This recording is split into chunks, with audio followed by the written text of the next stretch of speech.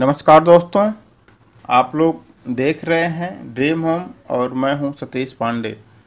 दोस्तों, आज मैं आप लोगों के लिए 20 बाई 40 फीट का ईस्ट फेस होम प्लान लेकर आया हूँ और यह उम्मीद करता हूँ कि यह प्लान आप लोग ज़रूर पसंद करेंगे। इस प्लान के लिए मुझे यूट्यूब पर ही कमेंट्स मिला है तो उसी कमेंट्स के आधार पर यह प्लान मैं तैयार कर रहा हूँ और उम्मीद करता हूँ कि जिन्होंने कमेंट्स किया है और आप लोगों को भी यह प्लान ज़रूर पसंद आएगा। तो दोस्तों, सबसे पहले आप लोग इस वीडियो को लाइक कर दें, क्योंकि एक लाइक तो बनता ही है, क्योंकि मैं आप लोगों के लिए इतने अच्छे अच्छे प्लान लेके आता रहता हूँ। जो लोग चैनल पर नए हैं या अभी तक चैनल को सब्सक्राइब नहीं किए हैं तो प्लीज़ चैनल को सब्सक्राइब करें और बेल आइकन को भी ज़रूर दबाएँ, जिससे कि आने वाले वीडियो का नोटिफिकेशन सबसे पहले आप लोगों को मिलता रहे। दोस्तों, इस प्लान को देखने के लिए सबसे पहले ज़रूरी यह है कि आप पूरे वीडियो को ध्यान से देखें। एक बार समझ में नहीं आता है तो दो तीन बार देखें, जिससे कि आप लोगों को पता चल जाए कि इसमें जो कुछ लेआउट किया गया है, वह क्यों और कैसे किया गया है।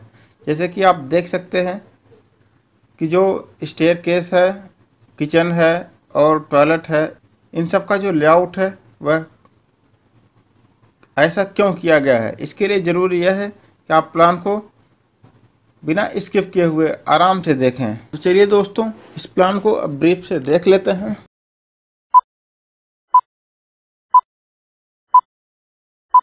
जैसा कि आप लोग देख रहे हैं, यह फ्रंट साइड है और यहाँ पे रैंप लगा है। यहाँ पे देखिए मेन गेट लग जाएगा और यहाँ से हम एंट्री करेंगे तो पोर्च में आ जाएँगे।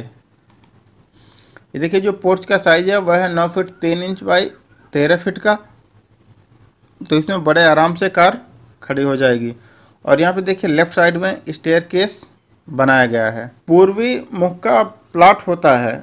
उसमें जो इंट्रेंस है, वह नॉर्थ ईस्ट कॉर्नर से इंट्रेंस बहुत अच्छा माना गया है। इसलिए यहाँ पे नॉर्थ ईस्ट से ही इंट्रेंस दिया गया है। और जो नॉर्थ ईस्ट का कॉर्नर होता है, वह पोर्च के लिए भी उत्तम माना गया है वास्तु के अनुसार। यह देखिए जो सीढ़ी का लोकेशन है, वह है साउथ ईस्ट तो साउथ ईस्ट में जो सीढ़ी है, वास्तु के हिसाब से एकदम उत्तम माना जाता है। इसलिए साउथ ईस्ट में ही सीढ़ी को बनाया गया है। और आगे देखते हैं, यह किचन है। किचन को भी साउथ ईस्ट में बनाया गया है, यह भी एज पर वास्तु ही है।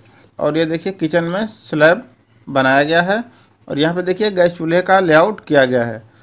दोस्तों, जो आप लोग गैस चूल्हा देख रहे हैं, यह भी एज पर वास्तु के हिसाब से यहाँ पे लेआउट किया गया है। वास्तुशास्त्र में ऐसा कहा जाता है कि जब हम भोजन बनाते हैं तो अपना फेस पूर्व की तरफ़ होना चाहिए। इसलिए वास्तु को ध्यान में रखते हुए यह चूल्हा यहाँ पे अरेंज किया गया है। आगे बढ़ते हैं, देखते हैं हॉल है। इसका साइज़ है तेरह फीट बाई नौ फीट दस इंच और यहाँ पर देखिए कॉर्नर में डाइनिंग टेबल का लेआउट किया गया है। आप चाहें तो अपनी सुविधा के अनुसार एडजस्ट कर सकते हैं। और हॉल में ही देखिए, सोफे का अरेंजमेंट किया गया है।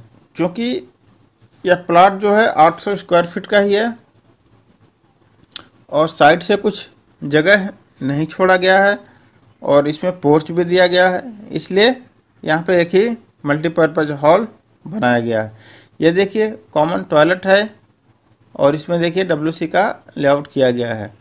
वास्तुशास्त्र में ऐसा कहा गया है कि जो डब्ल्यूसी का लेआउट होता है, वह ऐसा होना चाहिए कि डब्ल्यूसी का फेस साउथ साइड की तरफ़ हो। तो आप लोग देख सकते हैं, यह साउथ यह इसका फेस है और यह साउथ साइड के तरफ़ है। तो आइचोर वास्तु, यह एकदम सही है।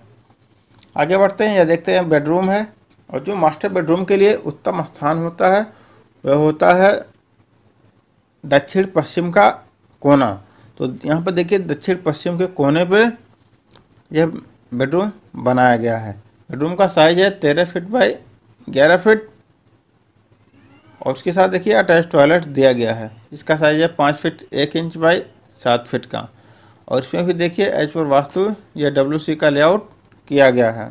इतना पोर्शन देखिए ओटीएस रखा गया है, जिससे क्या होगा कि इस टॉयलेट को और इस टॉयलेट को वेंटिलेशन मिलता रहेगा। यहाँ पे एक वेंट लग जाएगा और यहाँ पे एक वेंट लग जाएगा।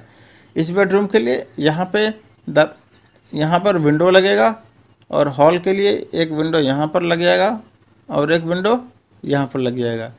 कॉमन टॉयलेट के लिए आप यहाँ पे एक वेंट लगा सकते हैं और किचन के लिए देखिए यहाँ पर एक विंडो आ जाएगा तो इसमें लाइट और हवा का प्रॉब्लम नहीं होगा।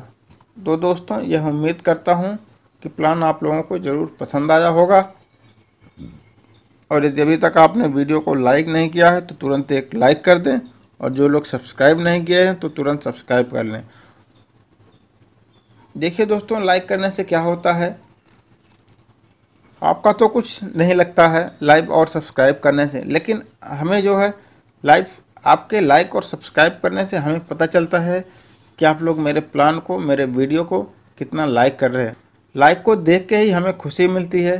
तो उम्मीद करता हूँ कि आप लोग समझ गए होंगे कि वीडियो को लाइक और सब्सक्राइब ज़रूर करना चाहिए। यदि आप लोगों का कुछ कमेंट है तो कमेंट ज़रूर करें।